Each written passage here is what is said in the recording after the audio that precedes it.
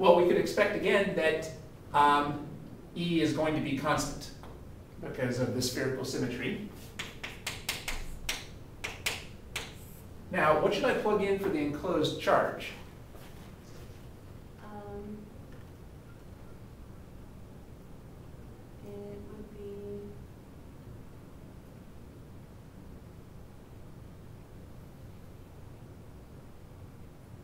I don't think there is any enclosed charge, is there?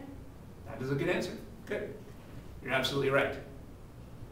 So what should I plug in for the enclosed charge? Zero. That's right. So a mathematician, you can't just say there is none in math. You have to actually put in a number. Well, the number that represents there is none is zero. That was the whole point of this being hollow. If you draw a Gaussian surface inside of the hollow shell, well, there's nothing inside of it. It's hollow. Remember, where's all the charges? All the charges are up here. Maybe I should have maybe drawn all these little negative signs here. There's a bunch of negative sign, negative charges on the surface of this hollow sphere, but there's none in the center just because we told us, we told ourselves this was hollow. So we plug in a zero for the enclosed charge. So what's the electric field going to be? Zero.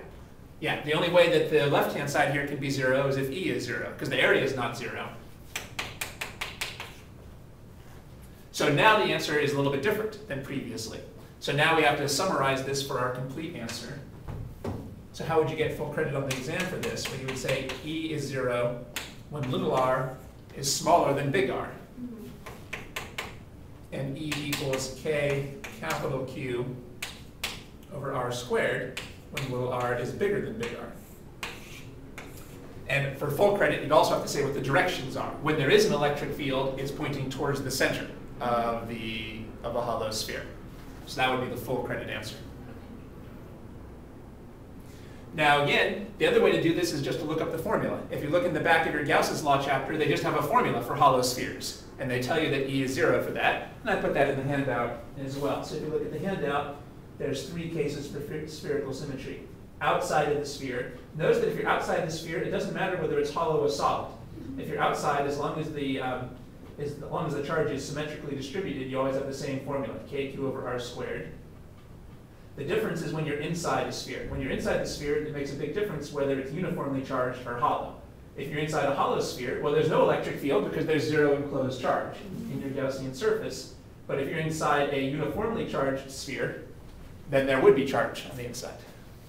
So like I said, uh, I'm not really quite sure whether on the test the uh, instructor would allow you just to say, well, the answer here is zero because I looked up the formula. That doesn't, doesn't seem like enough.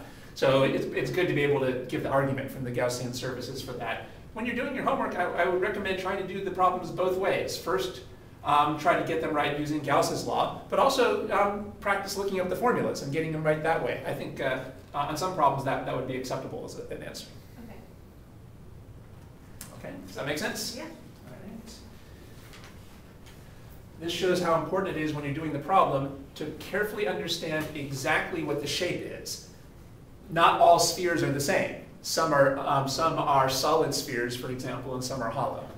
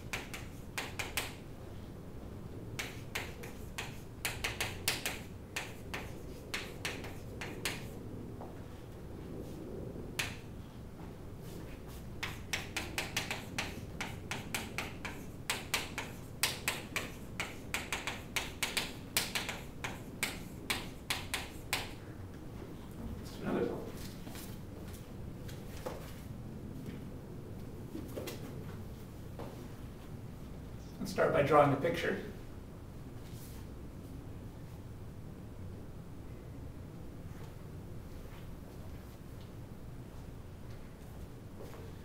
Okay, and I'll let you uh, try this one a little bit more on your own. So think about how you might get started here.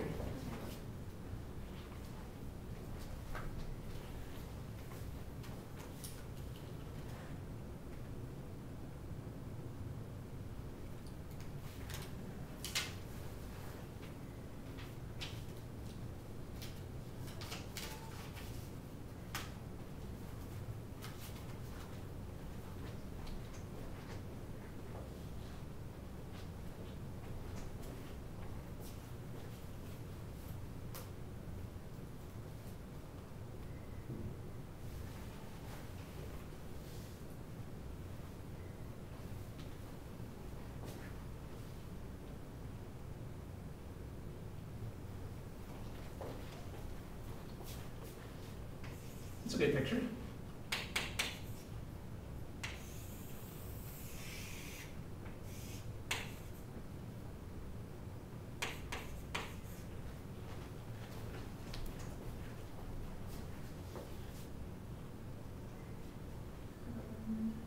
So how would we go about answering the problem?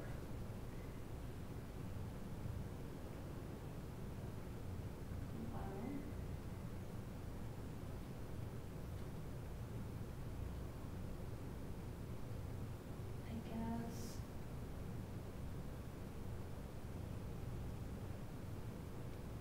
I'm a little confused by there being two different charges. Um, I guess we'd start with a point outside of the sphere. Sounds good? Great.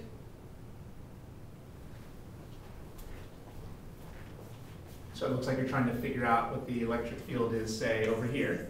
And you started by drawing a Gaussian surface, and you correctly saw that the best Gaussian surface is a sphere. Because that would be symmetrical with respect to the source charges. Good.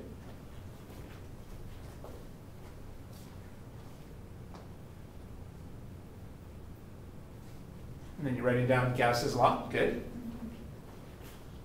Um, and it seems like we need to constant. That's right. I can rewrite it. Good. Alright. There's no real reason why the electric field here should be any bigger than the electric field over here, because these are both symmetrical with respect to the source charge. So we can rewrite this as our formula for constant electric field. Good. Um, Okay. And now, um, the area of that sphere would be, uh, four pi little r squared. Good. And it's good that you're focusing on the fact that that's little r. I should draw this to show that this is our little r. Good.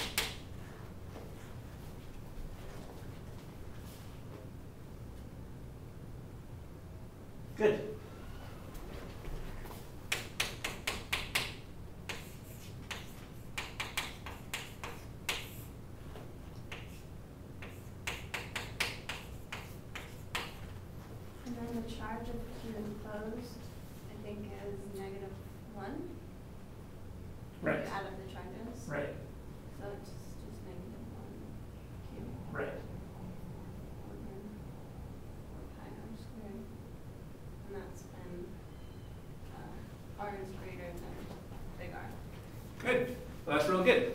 Um, a couple uh, technicalities there. So you wrote down the right thing. You said that the charge was negative one, but what you wrote down was that it was negative q, which is correct. So what you wrote down was correct. It's not negative one coulomb. It's negative q, which is exactly what you wrote down. So what you wrote down was good. Remember though, uh, again, we're really only using this formula for magnitudes. So I'm not going to bother putting in the negative sign. We're just going to use this for magnitudes. Let's review how you got the enclosed charge. Well, what's the total charge enclosed within this Gaussian sphere? Well, there's the plus q from the point charge in the center, but this is also enclosed. So that's plus negative 2q. Well, positive q plus negative 2q is negative q. So the magnitude of the enclosed charge is just q. Maybe again, I should put in some dots to show this formula is just going to give us the magnitudes. I think sometimes instructors like to put in the signs too, but um, I think it's more straightforward just to use this for magnitudes. And you correctly saw that this is when r is greater than big R. Little r is big, greater than big R. Okay, good.